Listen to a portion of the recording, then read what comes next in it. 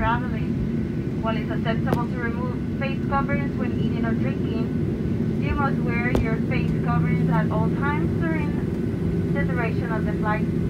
If you're willing to follow these requirements, you may not be allowed to fly with us in the future. In the event of oxygen mask drop from the overhead compartment, please remove any face covering prior to placing the mask over your nose and mouth. And for your safety, we have made flight, we will not provide any food and beverage service, but if you need something, please let us know. Please refrain from placing used cleaning wipes, tissues, or other disposable items in the seatbelt packet or toilet. Flight attendants will now walk through the cabin to ensure everyone